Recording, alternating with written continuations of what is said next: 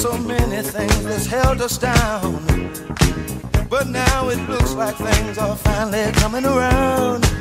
I know we've got a long, long way to go. And where we'll end up, I don't know. But we won't let nothing hold us back. We're putting our show together. We're polishing up our act. And if you've ever